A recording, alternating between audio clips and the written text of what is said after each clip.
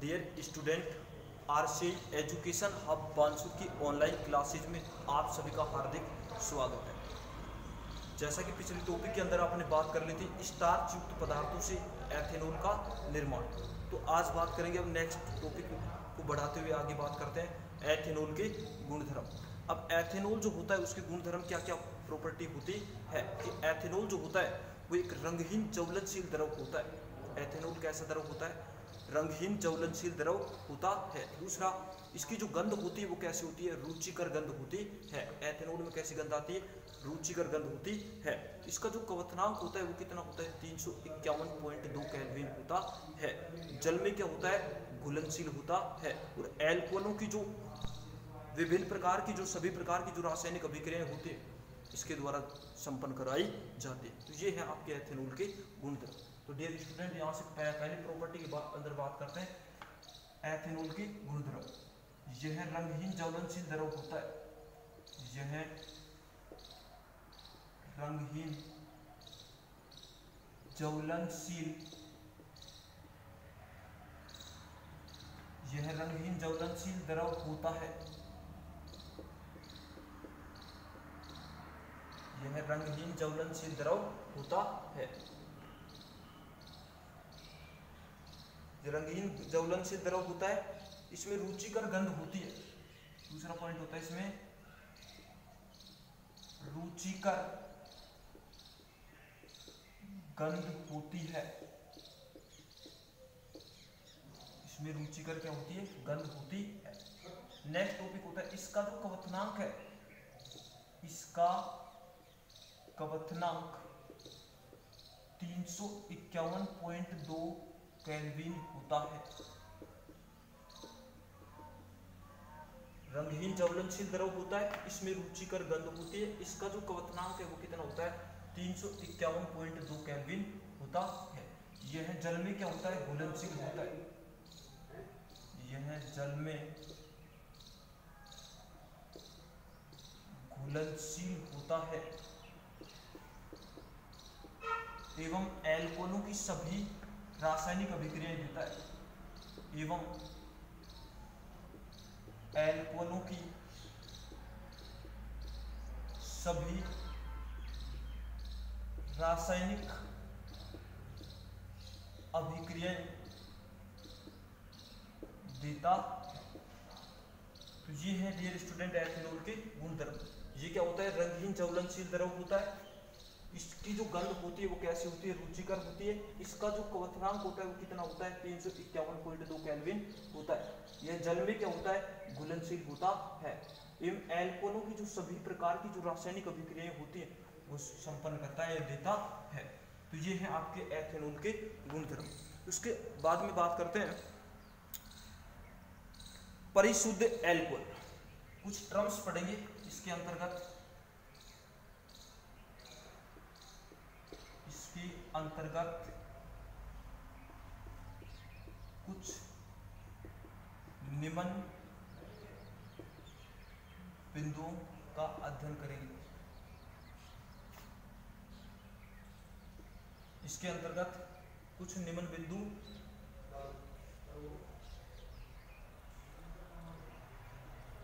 का अध्ययन करेंगे।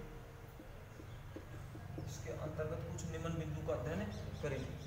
अब कुछ निम्न बिंदु का अध्ययन करेंगे तो यहाँ से कौन कौन से बिंदु की बात कर रहा हूँ यहाँ से मैं? पहला पॉइंट बात करता हूँ यहाँ से परिशुद्ध एल्कोहल पहला बिंदु क्या होगा यहाँ से? परिशुद्ध एल शत प्रतिशत जो शुद्ध एल्कोहल होता है डियर स्टूडेंट सौ परसेंट जो शुद्ध एल्कोहल होता है, वो क्या कहलाता है आपका? परिशुद्ध एल्कोहल कहलाता है। यानी कि शत प्रतिशत शुद्ध एथेनॉल शत प्रतिशत। शत प्रतिशत। शुद्ध एथेनॉल। शुद्ध एथेनॉल। शत प्रतिशत शुद्ध एथेनॉल जो होता है को परिशुद्ध एल्कोहल कहा जाता है। परिशुद्ध एल्कोहल कहा जाता है। यानी कि शत प्रतिशत शुद्ध एथेनॉल क्या कहलाता है? यहाँ से परिशुद्ध एल्कोहल कहलाता है। इसके बाद में बात करते हैं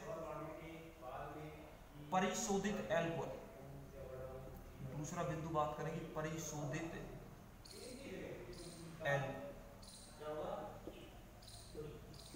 परिशोधित एल तो डियर स्टूडेंट यहाँ से परिशोधित एल्कोहल जो होता है वो क्या होता है?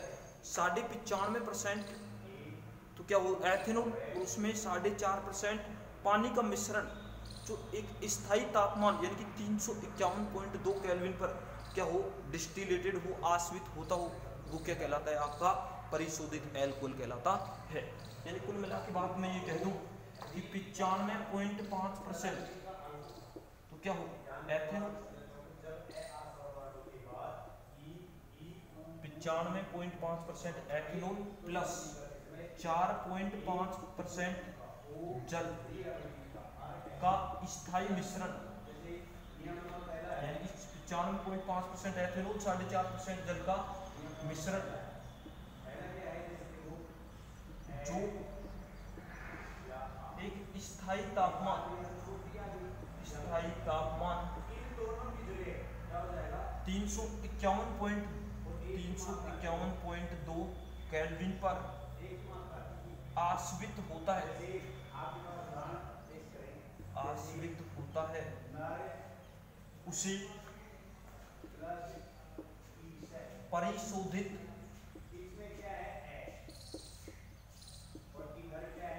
एल्कोहल कहा जाता है। उसे परिशोधित एल्कोहल कहा जाता। इनकी पिचानवे पॉइंट पाँच परसेंट एथेनॉल साढ़े चार परसेंट जल का मिश्रण जो स्थायी तापमान यानी तीन सौ इक्यावन पॉइंट दो कैलविन पर क्या डिस्टिलेटेड होता है, उसे क्या कहा जाता है? परिशोधित एल्कोहल कहा जाता है। पावर एल्कोहल थर्ड पॉइंट की अंदर बात करते हैं dear student power alcohol power alcohol में क्या होता है? पावर एल्कोहल इंपोर्टेंट है यहाँ से पेपर में पूछ भी लेते हैं कई बार पावर एल्कोहल क्या है? पेट्रोल जो होता है, उस पेट्रोल में बेंजीन व ईथर के साथ एथेनॉल मिलाकर शक्ति उत्पादन करने के लिए जो प्रयुक्त किया जाता है, इस प्रकार का जो प्रयुक्त एल्कोहल है, वो क्या कहलाता है? आपका पावर एल्कोहल कहलाता है। यानी कि डियर स्टूडेंट यहाँ से क्या होता है? पेट्रोल होता है। पेट्रोल में ईथर बेंजीन के साथ। पेट्रोल में ईथर व बेंजीन के साथ। एथेनॉल मिलाकर। एथेनॉल मिलाकर। शक्ति उत्पादन। शक्ति उत्पादन करने के लिए। शक्ति उत्पादन करने के लिए। शक्ति उत्पादन करने के लिए। प्रयुक्त किया जाता है। प्रयुक्त किया जाता है। तो इस प्रकार के एल्कोहल को पावर एल्कोहल कहा जाता। इस प्रकार के एल्कोहल को पावर एल्कोहल कहा जाता। तो ये है डियर स्टूडेंट एथेनॉल के गुणधर्म। एथेनॉल के जो गुणधर्म होते हैं, उसके अंतर्गत किस किस की बात करते हैं? कि एथेनॉल जो होता है, क्या होता है? एक रंगहीन ज्वलनशील द्रव होता है। इसकी जो गंध होती है, वो कैसी होती है? रुचिकर। एथेनॉल का जो क्वथनांक है, वो कितना होता है? तीन सौ इक्यावन पॉइंट दो कैलविन होता है। जल में क्या होता है? घुलनशील होता है। और एल्कोहल की सभी प्रकार की जो रासायनिक अभिक्रिया देता है। इसके अंतर्गत कुछ निम्न बिंदुओं का अध्ययन करेंगे। इसके अंतर्गत एथेनॉल, जो C two H five O X जो एथेनॉल है, इसके अंतर्गत निम्न बिंदु का अध्ययन करेंगे। पहली बात करते हैं परिशुद्ध एल्कोहल शत प्रतिशत जो शुद्ध एथेनॉल होता है, उसे क्या कहा जाता है? परिशुद्ध एल्कोहल कहा जाता है। नेक्स्ट है परिशोधित एल्कोहल यानी कि परिशोधित एल्कोहल क्या होता है? पिचानवे पॉइंट पाँच परसेंट क्या हो? एथेनॉल और साढ़े चार परसेंट जल का मिलाकर के बना दे मिश्रण बना दे। तो ये जो मिश्रण बना है, वो एक स्थायी तापमान, यानी कि वो तापमान कितना है? तीन सौ इक्यावन पॉइंट दो कैलविन पर क्या हो जाए? आश्रित हो जाए।